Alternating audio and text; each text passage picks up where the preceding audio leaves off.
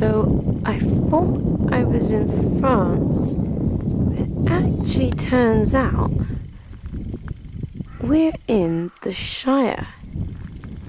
Here we have a stable where passing wizards are invited to leave their horses.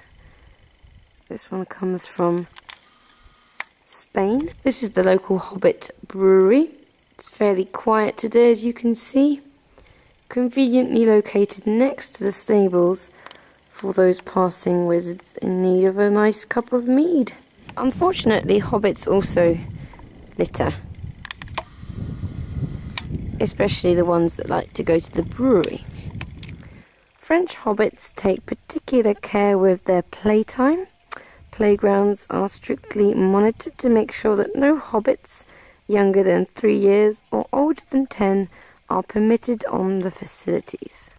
Most hobbits are several hundred years old, so this rules out much of the population, unfortunately, as you can see. Rumours have it that hobbit Zumba classes have been taking place in this venue here.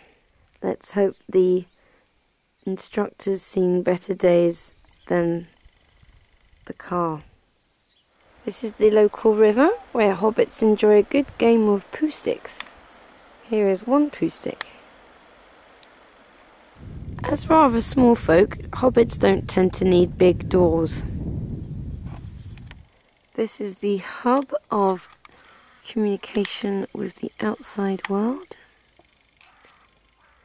and this is the hub of the social life of the village. Right up to date.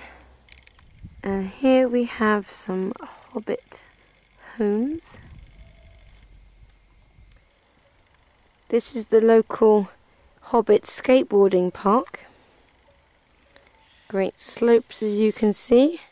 This is where Bilbo Baggins' mistress is rumoured to live. no sign of her. The main sounds of the village are bleating goats and cows. It's all a bit raucous really.